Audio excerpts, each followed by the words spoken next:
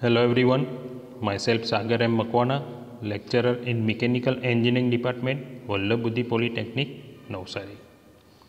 Today we are going to learn topic EST, EFT, LST and LFT. આજે આપણે EST, EFT, LST અને LFT time શીખીશું હવે અત્યાર સુધી આપણે ક્રિટિકલ પાથ કઈ રીતના ફાઇન્ડ કરેલ હતો ત્યાં સુધી આપણે એક્ઝામ્પલ પૂરા કરેલ છે. તો ક્રિટિકલ પાથ જે આપણે ફાઇન્ડ કરતા હતા, એમાં થોડુંક એડવાન્સ છે આ ઈએસટી ઈએફટી એલએસટી અને એલએફટી ઈએસટી એટલે earliest starting time EFT means earliest finish time LST means latest starting time અને LFT means latest finish time આ ચાર પ્રકારના ટાઈમ આજે આપણે શીખવાના છીએ. ઓકે તો શરૂઆત કરીએ આપણે. આપણો ફર્સ્ટ ટાઈમ છે earliest starting time it is the earliest time by which an activity can be started it is the earliest time by which an activity can be started તો એક ઇવેન્ટ આપણે draw કરીએ, જ્યાંથી આપણો diagram start થાય છે. અને નામ આપી દઈએ એ એક્ટિવિટી એ છે. એનો ટાઈમ લઈ લઈએ થ્રી ઓકે? બીજી ઇવેન્ટ એ પૂરું થશે. તો એ એક્ટિવિટી માટે ઈએસટી શું થશે? એની આગળ કોઈ એક્ટિવિટી નથી. ફર્સ્ટ ઇવેન્ટ જ છે આપણી તો ઈએસટી થશે ઝીરો ઓકે? સપોઝ કે એક્ટિવિટી બી બતાવું છું મેં અહીંયા. અને એનો ટાઈમ છે ટુ હવે બી માટે અર્લીએસ્ટ સ્ટાર્ટિંગ ટાઈમ કેટલો લેવો? એમાં કન્ફ્યુઝન છે. કારણ કે એ માટે તો આગળ કોઈ એક્ટિવિટી હતી નહીં, એટલે આપણે ઝીરો લઈ લીધો અર્લીયર સ્ટાર્ટિંગ ટાઈમ પણ બી માટે અર્લીયર સ્ટાર્ટિંગ ટાઈમ કેટલો લેવો? તો એના માટે અર્લીએસ્ટ ફિનિશ ટાઈમ મેજર કરવો પડે એનો. હવે અર્લીએસ્ટ ફિનિશ ટાઈમ શું છે? EST plus duration of that activity તો એ માટે ઈએસટી છે ઝીરો અને ડ્યુરેશન છે ત્રણ. તો ઝીરો પ્લસ થ્રી કેટલા થશે? ત્રણ થશે? ઓકે? તો બી માટે અર્લીએસ્ટ સ્ટાર્ટિંગ ટાઈમ આપણે લેવાનો છે થ્રી કારણ કે આ ઇવેન્ટથી બી ચાલુ થાય છે. એ જ્યાં પૂરું થાય છે, એ ઇવેન્ટથી બી ચાલુ થાય છે. એટલે બી જ્યાંથી ચાલુ થાય છે, એનો જે ટાઈમ છે, એ આપણો થશે અર્લીએસ્ટ સ્ટાર્ટિંગ ટાઈમ ઓકે? આ સિમ્પલ કેસમાં આપણે વિચારીએ છીએ. તો અર્લીએસ્ટ સ્ટાર્ટિંગ ટાઈમ થ્રી છે.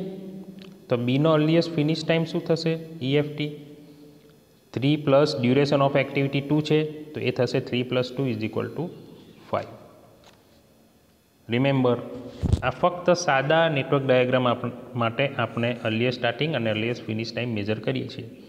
હવે અમુક ઇવેન્ટ એવી હશે કે જેમાં બે એક્ટિવિટી આવતી હશે. તો એ ટાઈમે આપણે earliest starting time earliest finish time કઈ રીતના લેવાનું? એ આપણે શીખીશું. બીજી એક વસ્તુ. કે ઈએસટી અને ઈએફટી હંમેશા જમણી બાજુ ફોરવર્ડ પાસમાં આગળ વધે છે. ડાબી બાજુથી ચાલુ કરવાનું છે અને જમણી બાજુ આપણે આગળ વધતા જવાનું છે. ઈએસટી અને ઈએફટી ફાઇન કરતા જવાનું છે.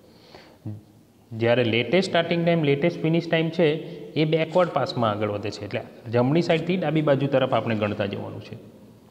તો આ આપણે એક તો એકદમ સિમ્પલ એક્ઝામ્પલ માટે ઈએસટી ઈએફટી ફાઇન કર્યું. હવે નેક્સ્ટ અર્લીએસ્ટ ફિનિશ ટાઈમ જેમાં આપણે થોડુંક કોમ્પ્લિકેટેડ કેસ વિચારીશું. અર્લિયસ્ટ ફિનિશ ટાઈમ શું છે? It is the earliest possible time at which activity can be activity can be completed તો EFT is equal to EST plus duration of that activity આ જ આપણે આગળ ડાયાગ્રામમાં શીખ્યા કે EST plus duration of that activity આપણે simple case માટે તો ઈએસટી ઈએફટી ફાઇન કર્યું. પણ થોડાક કોમ્પ્લિકેટેડ કેસ માટે પણ આપણે ઈએસટી અને ઈએફટી ફાઇન કરીએ, જેથી કરીને આપણો કોન્સેપ્ટ ક્લિયર થાય.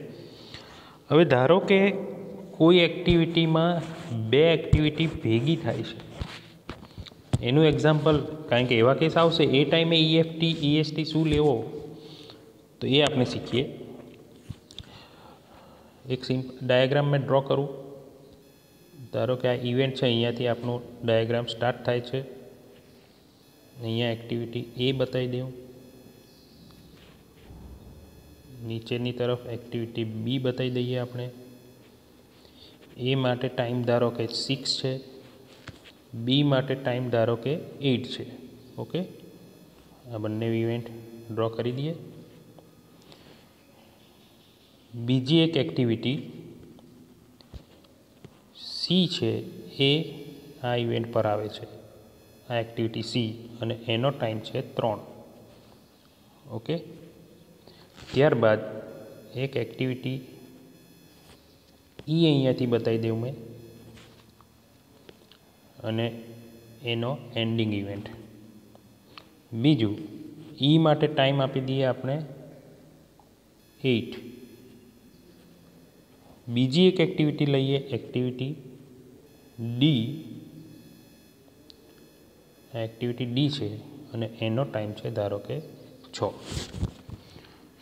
ઓકે હવે સિમ્પલ ડાયાગ્રામ નથી. આમાં ઇવેન્ટો ઇવેન્ટ પર એક્ટિવિટી ભેગી થાય છે.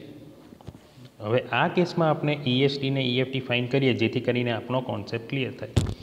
પહેલી વસ્તુ કે ઈએસટી અને ઈએફટી હંમેશા ડાબી બાજુથી જમણી બાજુ આગળ વધે છે.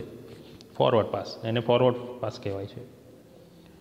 તો શરૂઆત કરીએ આપણે એક્ટિવિટી એથી તો એ માટે અર્લીએસ્ટ સ્ટાર્ટિંગ ટાઈમ કેટલો આવશે? વિચારો તમે, કારણ કે આપણે આવું જોયું આગળ.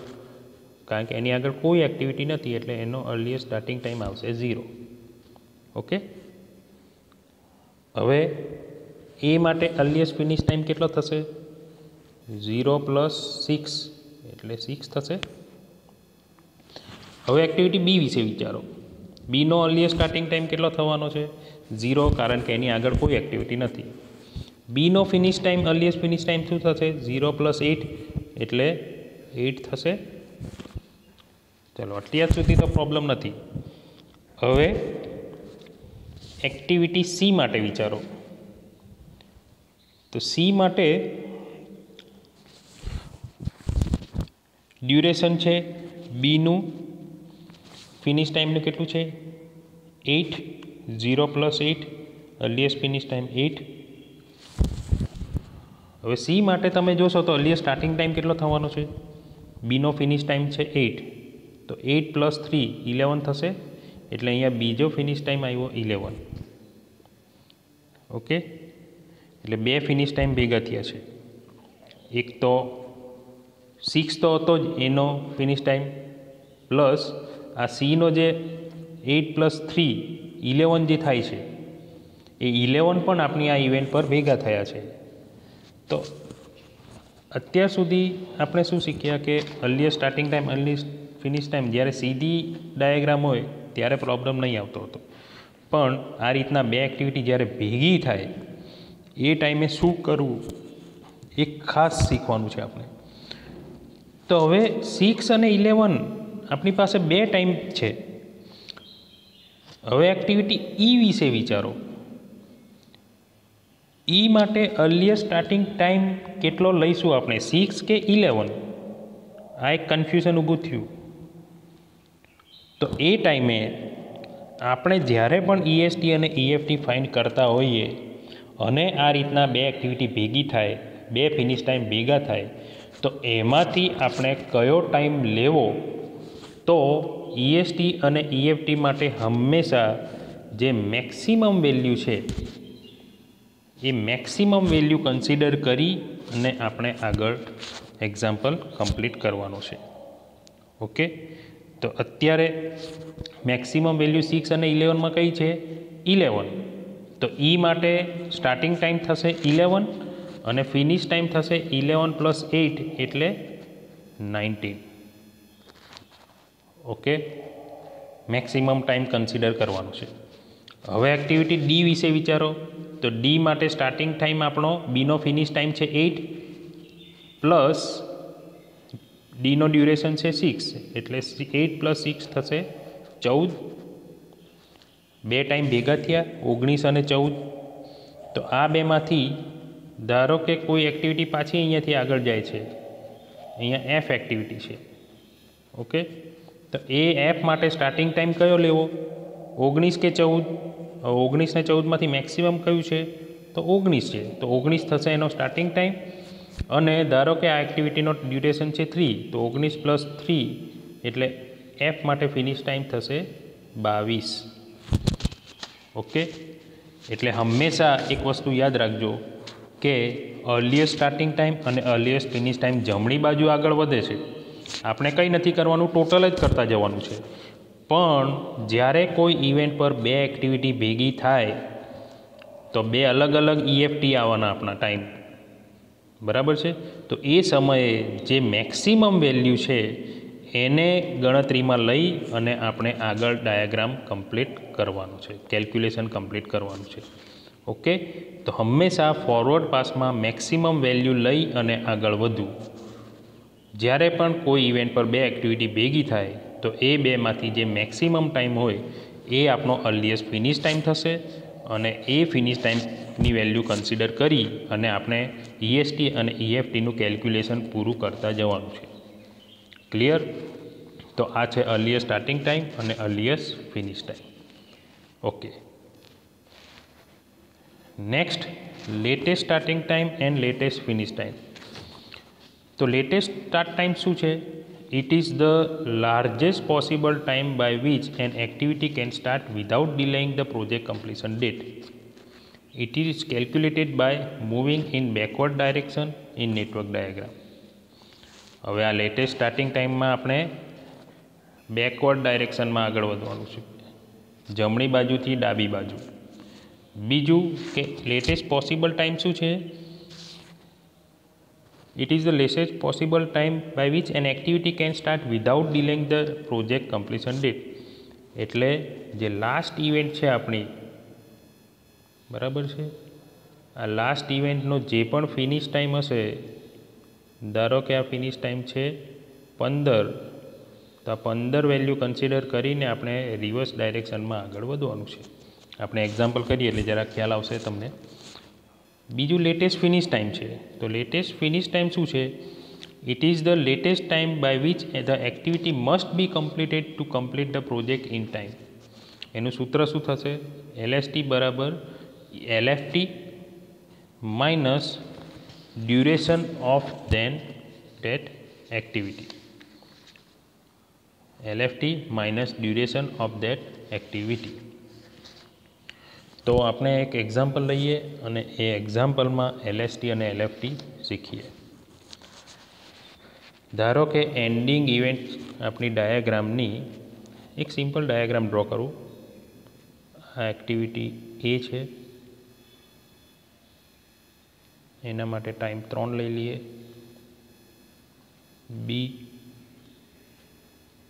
સી બી માટે ટાઈમ ટુ સી માટે ટાઈમ ફોર ઓકે ધેન લઈ લઈએ એક્ટિવિટી ડી ડી માટે ટાઈમ ત્રણ લઈએ દેન એક્ટિવિટી ઈ ઈ માટે ટાઈમ લઈએ પાંચ પછી આપણી ઇવેન્ટ છે અને લાસ્ટ એક્ટિવિટી છે એફ એફ માટે ટાઈમ લઈએ ટુ ઓકે તો હંમેશા જ્યારે પણ લેટેસ્ટ સ્ટાર્ટ ટાઈમ અને લેટેસ્ટ ફિનિશ ટાઈમ મેજર કરવું હોય, તો એ ટાઈમે આપણી પાસે ઈએફટી હોવો જોઈએ. ઈએફટી હવે ઈએફટી કઈ રીતના ગણવાનો છે? તો આપણે જસ્ટ શીખ્યા કે ડાબી બાજુથી જમણી બાજુ તરફ આપણે આગળ વધવા, વધવાનું છે. અને જે ફાઇનલ ઈએફટી આવે એ વેલ્યુ લઈ અને આપણે રિવર્સ ડાયરેક્શનમાં આગળ વધવાનું છે. કેલ્ક્યુલેશન રિવર્સ ડાયરેક્શનમાં કરવાનું છે. ઓકે તો ધારો કે હું બધું કેલ્ક્યુલેશન ઈએફટીનું ગણતો નથી, પણ ધારો કે આપનું ઈએફટી ઈએફટી છે ફોર્ટીન સપોઝ કે આપનો ઈએફટી છે ફોર્ટીન તો એલએફટી પણ આપણો થશે. એલએફટી હંમેશા આ છેલ્લી જે ઇવેન્ટ છે ને, ત્યાંથી જ ગણતરી કરવાની છે. એટલે એલએફટી પણ આપણો થશે ફોર્ટીન ચૌદ. ઓકે મેં કેલ્ક્યુલેશન ઈએફટીનું ગણતો નથી, પણ ઈએફટી આપણે એઝ્યુમ કરી છે. હવે એલએસટી ફાઇન્ડ કરવું છે. લેટેસ્ટ સ્ટાર્ટિંગ ટાઈમ તો પહેલી વસ્તુ આપણે યાદ રાખવાની છે કે જ્યારે પણ એલએસટી ને એલએફટી મેઝર કરતા હોઈએ ત્યારે આપણે જમણી બાજુથી ડાબી બાજુ તરફ ગણતરી કરવાની છે. તો એફ એક્ટિવિટી એફ વિચારો તમે. એફ માટે ટાઈમ છે ડ્યુરેશન છે ટુ અને એલએફટીની વેલ્યુ છે આપણી ચૌદ. તો શું થશે એલએસટી એફ માટે એક તો વેલ્યુ ચૌદ છે માઇનસ ટુ એટલે ચૌદ ઓછા બે કેટલા થશે? બાર. માઇનસ કરતા જવાનું છે. અને જમણી બાજુથી ડાબી બાજુ તરફ આપણે કેલ્ક્યુલેશન કરવાનું છે. એલએફટીની વેલ્યુ ચૌદ છે. એફ માટે ડ્યુરેશન છે ટુ. એટલે આપણી એલએસટીની વેલ્યુ થશે ટ્વેલ્વ. ઓકે? હવે પાછા રિવર્સ જઈએ. હવે જે ટ્વેલ્વ વેલ્યુ છે, એ એક્ટિવિટી ડી અને ઈનો લેટેસ્ટ ફિનિશ ટાઈમ થઈ જવાનો છે. એટલે ડી માટે જ્યારે એલએસટી મેઝર કરીશું એક્ટિવિટી ડી માટે, તો એ શું થશે? બાર ઓછા ડીનો ડ્યુરેશન છે ત્રણ, એટલે થશે નવ. એક્ટિવિટી ઈ માટે જો એલએસટી ફાઇન કરવો હોય, તો એનો લેટેસ્ટ ફિનિશ ટાઈમ છે બાર માઇનસ એનું ડ્યુરેશન છે પાંચ, એટલે એ થશે સેવન ઓકે આ રીતના રિવર્સ ડાયરેક્શનમાં માઇનસ કરતાં કરતાં આપણે એલએસટી અને એલએફટી મેઝર કરવાનું છે. બીજી એક વસ્તુ કે જો રિવર્સ ડાયરેક્શનમાં જતાં બે એક્ટિવિટી ભેગી થાય, તો શું કરવું? જેમ ઈએસટી ઈએફટીમાં મેક્સિમમ વેલ્યુ લેતા હતા, તો એવા જ આ રીતના જ્યારે બે એક્ટિવિટી ભેગી થાય કોઈ ઇવેન્ટ પર, તો એ ટાઈમે ગણતરી કઈ લેવી. તો બી માટે આ છે નાઇન એલ એલ એલએફટી અને એક્ટિવિટી સી માટે છે સેવન સેવન ઓકે કારણ કે ઈનો જે સ્ટાર્ટિંગ ટાઈમ છે એ સીનો ફિનિશ ટાઈમ થવાનો એલએફટી તો બી માટે નાઇન માઇનસ ટુ એટલે અહીંયા થશે સેવન અને સી માટે સેવન માઇનસ ફોર એટલે આ થશે થ્રી ઓકે એલએસટી બી માટે સેવન થયો અને સી માટે એલએસટી થશે થ્રી તો અહીંયા બે વેલ્યુ ભેગી થાય છે સેવન અને થ્રી તો એ બેમાંથી કઈ વેલ્યુ લેવી? તો રિવર્સ ડાયરેક્શનમાં બેકવર્ડ પાસમાં જ્યારે જઈએ, ત્યારે જે મિનિમમ વેલ્યુ છે થ્રી અહીંયા મિનિમમ વેલ્યુ છે. એ મિનિમમ વેલ્યુ લઈ અને પછી આગળ વધવાનું છે. હવે એક્ટિવિટી એ માટે શું થશે? થ્રી માઇનસ થ્રી એટલે અહીંયા થશે ઝીરો એટલે એનો એલએસટી વેલ્યુ આવશે ઝીરો પાછા એકવાર. સિમ્પલ વસ્તુ છે. લેટેસ્ટ સ્ટાર્ટિંગ ટાઈમ અને લેટેસ્ટ ફિનિશ ટાઈમની ગણતરી રિવર્સ ડાયરેક્શનમાં કરવાની, જમણી બાજુથી ડાબી બાજુ. જે ઈએફટી છેલ્લી વેલ્યુ છે, છેલ્લી ઇવેન્ટની એ થશે આપણી એલએફટીની વેલ્યુ જે, અને છેલ્લી એક્ટિવિટી છે, એમાં વેલ્યુ માઇનસ કરતા જાઓ. ચૌદ ઓછા બે એટલે બાર આવ્યું એલએસટી પછી જે લેટેસ્ટ સ્ટાર્ટિંગ ટાઈમ છે, એ પાછળની એક્ટિવિટીનો લેટેસ્ટ ફિનિશ ટાઈમ થવાનો. એટલે લેટેસ્ટ ફિનિશ ટાઈમમાંથી ડ્યુરેશન માઇનસ કરતા જાઓ, એટલે આપણને એલએસટીની વેલ્યુ મળતી જશે. રિવર્સ આવતા આવતા, ધારો કે કોઈ બે એક્ટિવિટી ભેગી થઈ ગઈ અને બે ટાઈમ ભેગા થયા આપણા લેટેસ્ટ ફિનિશ ટાઈમના તો કયા લેટેસ્ટ ફિનિશ ટાઈમની વેલ્યુ લેવી? તો જે મિનિમમ વેલ્યુ છે, એ મિનિમમ વેલ્યુ લઈને આપણે કેલ્ક્યુલેશન કરવાનું છે.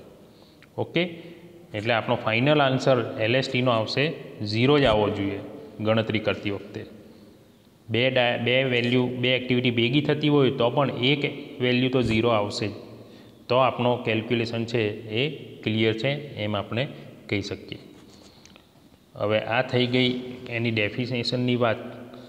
આપણે એકચ્યુઅલમાં એક્ઝામ્પલ નેક્સ્ટ લેક્ચરમાં કરીશું. ઓકે તો એ એક્ઝામ્પલમાં તમારો આ એલએસટી એલએફટી ઈએસટી ઈએફટી એકદમ કોન્સેપ્ટ ક્લિયર થઈ જશે.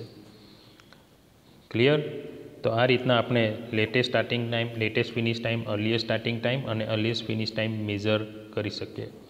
I hope you understand all this time EST EFT LST and LFT If you have any query, then you can call me or contact me any time Okay. Thank you.